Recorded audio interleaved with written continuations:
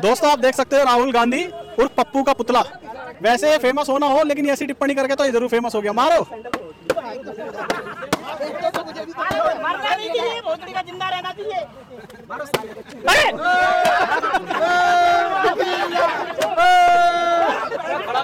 दोस्तों, जैसे कि आपको पता ही है कि लोकसभा चुनाव का जब से नतीजा आया है, तब से जो विपक्षी नेता हैं, पहली बार देखा गया है कि वो भी जीत का साइन बनाकर घूम रहे थे। और लोकसभा में जो उनका ओवर कॉन्फिडेंस मैं कहूँगा, वो देखते ही बनता है। इसी ओवर कॉन्फिडेंस के चलते हुए जो हमारे पप्पू जी हैं आप देख रहे हैं जिनका यहाँ पर पुतला खड़ा है, ये कोई सम्मान करने के लिए पुतला नहीं खड़ा। ये आप यहाँ पर जूते से पता लगा सकते हैं कि इन्होंने क्या हरकत की है। ये तो हम सभी जानते थे कि ये पार्टी हिंदू विरोधी है और हमेशा ये माइनॉरिटी के नाम पर किन लोगों को संशोधन देती है, किन लोगों का फ़ायदा कराती है और मेजोरिटी को मतलब पहला ये देश देखा गया है जहाँ पर मेजोरिटी को दबाया जाता है। अक्सर आप पाकिस्तान की बात करें, अफ़गानिस्तान की बात करें, बांग्लादेश की बात करें तो वहाँ पर आपको दिखाई देगा कि माइनॉरिटी के ऊपर अत्याचार होते हैं। लेकिन कांग्रेस पार्टी जब से सत्ता में थी, तब से लगातार हिंदुओं पर कितना अत्याचार होता था, उनके खिलाफ कैसी साजिशें होती थी, वो हम सब देखते थे। लेकिन अब खुले तौर पर ये पप्पू जी ने बोल दिया लोकसभा के अंदर कि हिंदू तो मतलब क्या ही बोले उनके बारे में कि इनसे बड़ा हिंसक कोई नहीं है। भगवान शिव की इन्होंने वहाँ पर फ़ोटो दिखाई मतलब जितना ही अपमान कर सकते थे खुले तौर पर वो किया गया।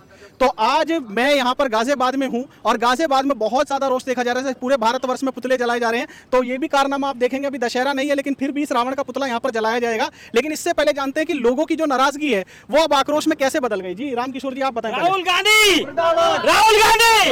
राहुल गांधी। राहुल गांधी। राहुल गांधी। ये रामकिशोर जी आपने सुना ही है हम सबने सुना है। मैं उस चीज़ को बार बार रिपीट नहीं करना चाहता लेकिन ऐसी मानसिकता आती कहाँ से है? मुझे ये समझना है। सर एक्चुअली इनको क्या है सिर्फ़ वोट से फ़र्क पड़ता है वो भी इनको एक चीज़ पता है कि हमारे हिंदुओं का कुछ लोग ऐसे भी हैं, यहाँ पर के कोई फ़र्क नहीं पड़ता उनको, कि हिंदुओं के खिलाफ कोई कुछ भी कह के चला जाता है। हम ये बिल्कुल भी सहन नहीं कर सकते कि हिंदुओं के खिलाफ कोई कुछ भी कह के चला जाए। ठीक है? हम हिंदू हैं, हम सनातनी हैं, हमारा धर्म हिंदू है, हमारे धर्म को कोई गाली देगा, हम चुप नहीं बैठेंगे बिल्कुल भी। चाहे वो राहुल गांधी हो, चाहे कोई भी हो देश का। लेकिन आज तक मेजोरिटी को आपने भी देखा होगा, मैं आपसे भी जानना चाहूँगा, आज तक आपने भी देखा होगा कि पहला ये मैं देश देखता हूँ कि जहाँ पर मेजोरिटी को इस तरह से गाली दी जाती है और मेजोरिटी कुछ करती नहीं है। ऐसी बहुत सारी बॉलीवुड में फ़िल्में बनती हैं ऐसी बहुत सारी बॉलीवुड में फ़िल्में बनती हैं जिसमें हमारे हिंदू समाज को गलत दिखाया जाता है तिलकधारी को आतंकवादी दिखाया जाता है। तो ऐसा कैसे संभव है कि पूरे मतलब भारतवर्ष के अंदर हिंदू क्यों इतना मतलब टॉलरेंस है? हिंदू के अंदर क्यों इतनी सहन शक्ति है? वो क्यों आवाज़ नहीं उठाता? देखो ऐसा है ना कि जो हिंदू हैं जैसे हिंदू बस कहते हैं कि हम हिंदू हैं लेकिन एकजुट नहीं है। उनका क्या है कि बस हिंदू कहना लेकिन जो है सपोर्ट में कोई नहीं है। मेजोरिटी हमारी होते हुए भी जो है जो माइनॉरिटी वाले हैं वो जो है हमारे पे हावी हो रहे हैं। ये जो है हिंदुओं की कमी है। हिंदू को जो है आगे आना चाहिए अगर माइनॉरिटी ये ये देखो अभी जो है ये हो रहा है।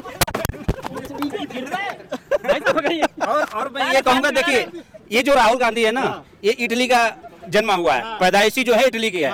और ये जो है चूतिया है हाँ। और मानसिक रूप से ये बेकार हो रखा है। हाँ। ये साले ने, शादी पता नहीं कोई नाजायज किया होगा तो पता नहीं हमें हाँ। लेकिन ये चूतिया आदमी है और ये कुछ भी बोलते रहता है। इसको जो है इसकी तो अभी मैंने सुना डीएनए रिपोर्ट भी आई और राजीव गांधी का ही नहीं है ऐसा कुछ बताया नहीं ये जो है राहुल उनका राजीव गांधी का नहीं है ये तो वो खान क्या नाम था उनका? फिरोज खान। फिरोज खान फिरोज खान इसके दादा थे। उनके ये जो है वंशज है। तो ये भोसड़ी का वही बात करेगा चुतिया वाला ही। तो मेरे मेरे मेरे मेरे हिसाब से जो है ये जो है चुतिया है मानसिक रूप से खराब हो रखा है। ये पता नहीं सांसद कैसे इसको हिंदू ही और दे के सांसद बनाए। जो कि हिंदू को ये सोचना चाहिए जब हिंदू को ये जो है हिंसक कर रहा है और बदमाश कर रहा है। क्या है कि जो संसद में जितने भी हमारे सांसद बैठे थे सबसे पहले तो उनको ही जवाब देना चाहिए था। वहाँ पर राहुल गांधी को पकड़ के उसके कान पे थप्पड़ ही थप्पड़ बरसाने चाहिए थे कि वो बोल कैसे रहा है इतना? है? तभी नहीं है वहाँ हमारे सांसदों को। उनको भी पूरा वो है। सांसद भवन के अंदर जो है 242 जो सांसद थे हमारे उनको दरवाज़ा बंद करके मार रेपटे मार रेपटे उसको मार के पूरा बाल उसका नोच लेना चाहिए था। क्योंकि वो एक नंबर का ये चूतिया इंसान है। और ये जो है हकीकत में इसका मानसिक रूप से खराब हो गया। जब मानसिक रूप से खराब हो गया तो इसकी सीटें बढ़ कैसे गई फिर? सीटें बढ़ गई वो जो हिंदू जो है ना वो चूतिए जो हिंदू है वही तो गण मारा रहे हैं और कौन मारा रहा है? राहुल गांधी जी ने बोला था जुलाई के अंदर भाई पहले तो जी क्यों लगा रहे हो मुझे? राहुल गांधी ने बोला था 8,500 जुलाई में 8,500 अगस्त में। खटाखट खटाखट खटाखट अब इनको बजाओ खटाखट हाँ। भाई आप भी हाथ साफ़ करोगे? हाँ जी चाचा। जो हिंदुओं का विरोध करे वही हमारा नारा है।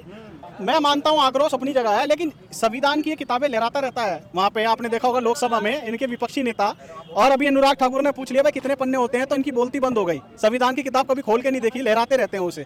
तो ये गत्ते के टुकड़े थे वो। गत्ते के टुकड़े थे। क्या कहना चाहते हो? ले देखो पहले जो संविधान की किताब जो लेके घूमते हैं इतना छोटा तो संविधान हमारा है नहीं। ठीक है? ये सोचते हैं कि ये आधा पागल आदमी है वैसे ही पूरा भारत पागल है। तो जो पागल बनने वाले तो बन गए और वोट भी दिए हैं साढ़े आठ हज़ार के लोभ में। आइए शुरू से देखो इसका खानदान ही देख लो कि हमारा देश को बांटा। एक पूरा इसका खानदान ही हमारे देश विरोध में है। ठीक है? सबसे पहले इसने हमारे देश का दो बंटवारा किया उसमें लाखों हिंदू हमारे लाखों भारत के लोग मारे गए। फिर इंदिरा गांधी आई। इंदिरा गांधी ने भी आपको पता है दिल्ली जलाया। इंदिरा गांधी चक्कर में कितना दिल्ली जला कितने पंजाबी भाई मारे गए हैं। उसके बाद बंगाल बंगाल को देख लो। आज बंगाल की स्थिति ममता बनर्जी ने नहीं जैसे बांग्लादेश पे जो बना बांग्लादेश तो उसको आप हमारी फौज लड़ी। बांग्लादेश में हमारी फौज लड़ी हमारे पैसे गए बना दिया बांग्लादेश। एक बाबा सिर बना दिया वहाँ पर। चाहता तो उसको भारत में मिला सकते थे ना। कम से कम वहाँ पर जो हमारे भाई थे हिंदू वो तो कम से कम बेघर नहीं होते। आज दर तक भटकते नहीं। तो ये तो इसका पूरा खानदान ही है देश विरोध भारत विरोधी में रहता है। फिर भी आज भी जब लोगों को पता है उसके बाद भी ये हमेशा गालियाँ देता है हिंदुओं को हिंदू के विरोध में नीतियाँ बनाता है सारी बातें हिंदुओं के खिलाफ बोलता है उसके बाद भी खाली मतलब मैं ये देखता हूँ हिंदू इसे वोट करते क्यों है फिर? देखो बात ये है कि हिंदू को ये शुरू से ही जातियों बांट दिया। ठीक है जब पहले कानून भी बनाया मैरिज हिंदू मैरिज एक्ट बनाया बाकी कोई मैरिज एक्ट नहीं आया। तो शुरू से इसने कभी हरिजन तो कभी बैकवर्ड कभी फॉरवर्ड तो जाति में इसीलिए बांटा है क्योंकि इसको राज करना तो जानता ही कि राज कैसे किया जाता है। अंग्रेज़ी डिवाइड रूल अंग्रेज़ों वाला। तो अंग्रेज़ों ये तो आधा तो अंग्रेज़ी है ना। ये जो बोलता था ना कभी कभी कि मोदी जी से दस मिनट डिबेट करवा दो मैं बोलता हूँ कि हमारे सामने राहुल गांधी से डिबेट करवाओ देश के बारे अच्छा जैसे ये पुतला खड़ा है आप पुतलों पर तो आप जूते चप्पल बजा रहे हो अगर सच में आ जाए तो बजा दोगे? इसको थप्पड़ मारा इसके क्या बोलूँ अब इसको? हाँ जी आप बताओ भाई। अगर अरे तुम तो बता दो। अरे बोलो तो सही। भाई साहब जैसे ये पुतला खड़ा है राहुल गांधी का ऐसे असल में राहुल गांधी खड़ा हो जाए तो बजा दोगे जूते चप्पल उस पर क्यों नहीं बजाया जा सकता? हिंदू विरोधी है तो बजाया ही जाएगा उसके ऊपर। अगर वो हिंदू विरोधी है तो उसको बजाया जाएगा। क्यों नहीं बजाया जाएगा? तो सामने तो आए पहले किसी के। जब सामने नहीं आएगा तो आदमी का सबसे पहली बात तो राहुल गांधी को जो हमारे हिंदू समाज के जो सांसद बन के गए हैं उनका उन लोगों को उस समय विरोध करना चाहिए था। लेकिन उन लोगों ने विरोध नहीं किया। उनको वोट चाहिए हिंदू से वोट चाहिए और वो विरोध नहीं करना चाहते हैं। मैं कहता हूँ चाहे वो पक्ष हो चाहे विपक्ष हो लेकिन अगर वो जो हिंदू सांसद हैं उन लोगों को उस समय विरोध करना चाहिए था राहुल गांधी का।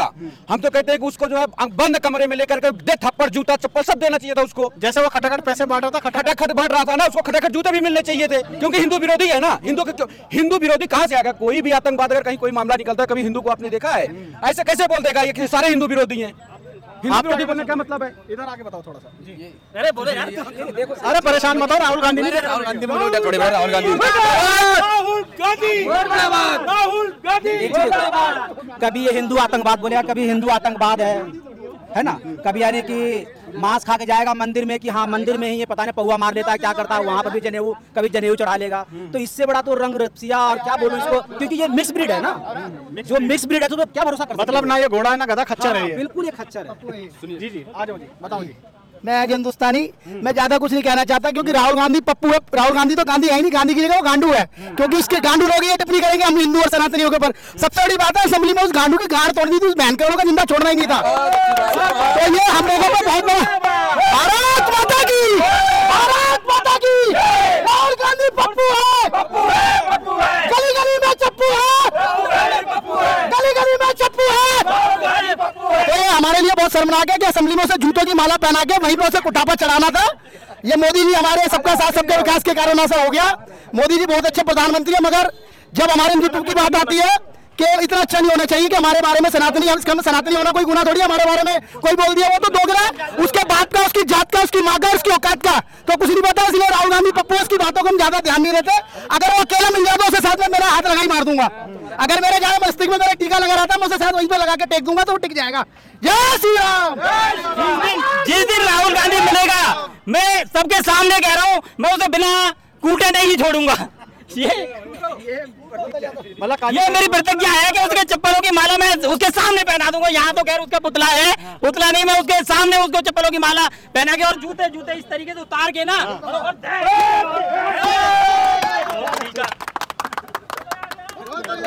तो दोस्तों आप देख ही सकते हैं लोगों में कितना आक्रोश है। चलो अब इस रावण का दहन भी कर दिया जाए। एक बार सभी लोग अपना हाथ साफ़ करने वाले होंगे। तो धीरे धीरे करके सब हाथ साफ़ करो इसके ऊपर। दोस्तों आप देख सकते हो राहुल गांधी और पप्पू का पुतला। वैसे फ़ेमस होना हो लेकिन ऐसी टिप्पणी करके तो ये ज़रूर फ़ेमस हो गया। मारो। मरना नहीं चाहिए भोसड़ी का ज़िंदा रहना चाहिए अरे